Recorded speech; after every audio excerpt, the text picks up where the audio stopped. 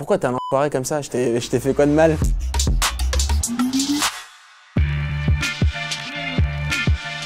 Je suis ultra mauvais perdant.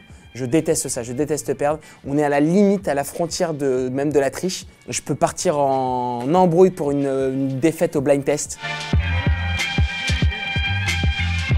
Je suis ultra chambreur. Si Émilie Tranen-Guyenne ou Jean-Baptiste Marteau, ils sont dans des équipes adverses et qu'on les bat ce jour-là, mais pendant trois mois, tous les jours, à chaque fois que je vais les croiser, je vais leur rappeler leur défaite.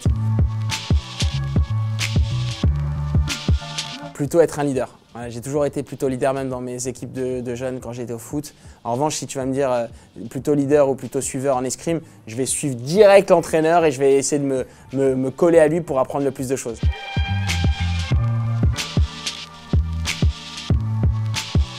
pourquoi t'es un enfoiré comme ça? Je t'ai fait quoi de mal? Quelle horreur. Euh, j'ai jamais vu, jamais vu l'OM gagner un titre européen. Donc je suis tiraillé entre mon club, l'Olympique de Marseille, qui est ma vie, et euh, le fait de donner du bonheur à 65 millions de Français. Donc euh, je vais plutôt choisir une victoire de bip.